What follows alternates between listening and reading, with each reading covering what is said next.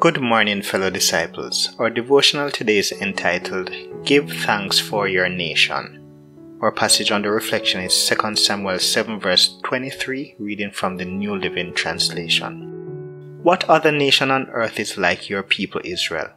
What other nation, O God, have you redeemed from slavery to be your own people?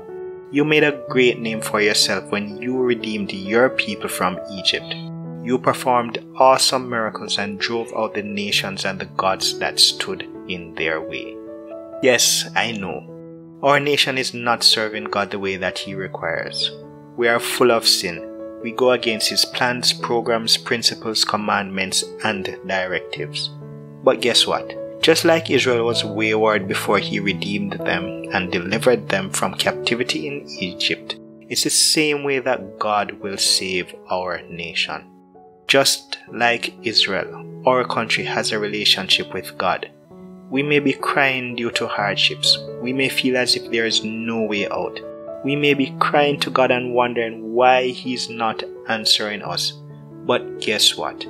God hears our cries from heaven just like He did when Israel cried out to Him in Egypt. We need to give thanks for who we are as a nation. We are chosen by God. We are loved by God. God has provided everything that we need to live like a holy nation. All we need to do is listen to Him, understand what He requires of us, and live in obedience to Him. Let us redirect our focus away from the negatives and focus on the good things about our nation. Take a moment to ponder all the great things about this land that God has given us. Let us pray. Father God, my nation is free to make choices. We have religious freedom. We have a good legislative system. We have sun, beaches, rivers, forests, rural towns, and urban towns. We are blessed beyond measure. Help us to use what you have given us to benefit each other. Help us to stop being selfish and greedy and to start to look out for each and everyone.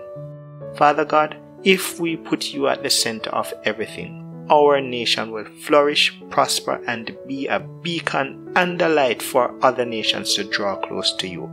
Continue to bless us as we seek to live for you, and may we as a nation show the world who you are. Amen.